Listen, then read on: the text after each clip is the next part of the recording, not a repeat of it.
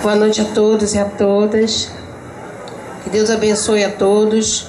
É, todo ano eu estou aqui é, participando da caminhada e da missa de queimados, porque eu acho muito importante, como o padre falou, que caminhar sozinho é muito difícil, né? A gente tem que caminhar junto.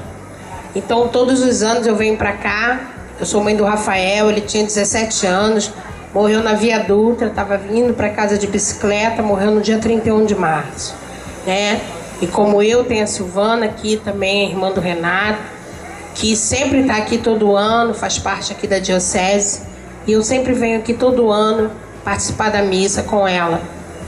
E acho muito importante que todos saibam que todos os anos a gente organiza a caminhada do 31 de março em Nova Iguaçu. É, por que a gente faz isso? Não é só para lembrar e homenagear aqueles que morreram no dia 31, mas que unam-se outras pessoas que também estão vivendo essa dor, que também estão vivendo essa perda, seja lá por, que, por quem for, né? Não, não, o assassino, a pessoa que matou, do jeito que foi, não interessa. Mas a violência aconteceu, né? A morte aconteceu. A vida da banalizada, né? A vida não tem mais valor. A gente está vendo aí todos os dias, todos os momentos na, na televisão, mais uma vítima, mais uma família chorando. E todos os dias a gente vê uma perda. Todos os dias a gente vê uma família sofrendo. Então, eu como mãe, sei o que é perder um filho, é uma dor imensurável, uma dor que não tem não tem como nem dizer como é. E eu sei que as famílias que estão aqui, muitas famílias aqui, conheceram as pessoas que faleceram e muitos que estão aqui também perderam outras pessoas de outra maneira.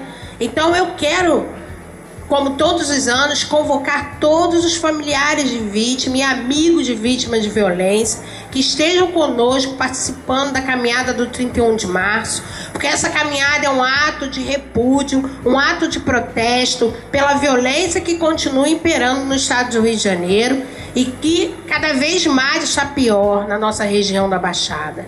Então eu convoco os familiares, como já convoquei o pessoal do Rio também, para estarem conosco nessa caminhada. A gente começa a caminhada às três horas na Via Dutra, aonde começou a chacina, né? Em frente a Besouro Veículos, ali a gente vai se concentrar ali na altura do viaduto da Barro Júnior. Dali a gente sai encaminhada fazendo o percurso que eles fizeram na chacina, o percurso onde eles mataram as vítimas, parando para fazer uma homenagem, para fazer uma fala, mas isso não é só para homenagear quem morreu naquele dia.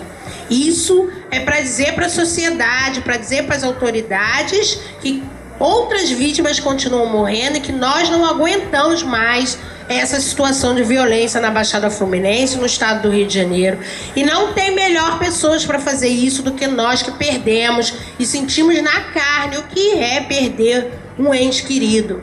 Então não precisa você perder para você entrar para essa briga, para você entrar para essa luta. Apenas precisa você amar o seu próximo como a si mesmo para continuar lutando pela paz e lutando por justiça. Eu agradeço, muito obrigada.